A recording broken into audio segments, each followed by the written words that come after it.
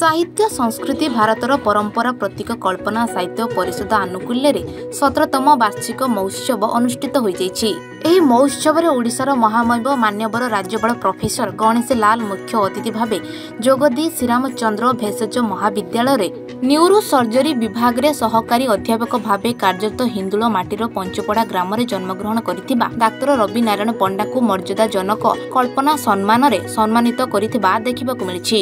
ସାହିତ୍ୟ ସଂସ୍କୃତି ଓ ସମାଜ ଭାରତୀୟ ସଂସ୍କୃତିର ପ୍ରତୀକ ବୋଲି ମହାମହିମ ରାଜ୍ୟପାଳ ନିଜର ବକ୍ତବ୍ୟ ରଖିଥିଲେ। ଅନ୍ୟପଟେ ଉକ୍ତ କାର୍ଯ୍ୟକ୍ରମ କଟକସ୍ଥିତ ଶହୀଦ ଭବନଠାରେ ଅନୁଷ୍ଠିତ ହୋଇଥିଲା। ଡାକ୍ତର ରବିନାରାୟଣ ପଣ୍ଡା ଡାକ୍ତରୀ ବିଦ୍ୟାରେ ସ୍ୱର୍ଣ୍ଣ ପ୍ରାପ୍ତ ହୋଇଥିଲେ। ସେ ଏହା ପୂର୍ବରୁ ପ୍ରଜ୍ଞା ଜ୍ୟୋତି ସାହିତ୍ୟ ସମ୍ମାନ ଭଞ୍ଜ ପ୍ରଭା ସମ୍ମାନ ଉପେନ୍ଦ୍ର ଭଞ୍ଜ ସମ୍ମାନ ସାରସ୍ୱତ ମହକ ସମ୍ମାନ ପ୍ରଭୃତି ବହୁ ସମ୍ମାନରେ ବିଭିନ୍ନ ଅନୁଷ୍ଠାନ ପକ୍ଷରୁ ସମ୍ମାନିତ ହୋଇସାରିଥିବା ଜଣାପଡ଼ିଛି। ରାଜ୍ୟପାଳଙ୍କ ଦ୍ୱାରା ସମ୍ମାନିତ ହୋଇଥିବା ଶ୍ରୀ ପଣ୍ଡାଙ୍କୁ ଏନେଇ ହିନ୍ଦୁଳର ବିଭିନ୍ନ ମହଲରୁ ଶୁଭେଚ୍ଛାର ସୁଅ ଛୁଟୁଥିବା ଦେଖିବାକୁ ମିଳିଛି। ଢେଙ୍କାନାଳରୁ ଭିଡ଼ିଓ ଜର୍ଣ୍ଣାଲିଷ୍ଟ ଗଲବନ୍ଧୁ ବାରିକଙ୍କ ସହ ସୁଜିତ ବେହେରାଙ୍କ ରିପୋର୍ଟ ଏ ୱାନ୍ ଓଡ଼ିଶା।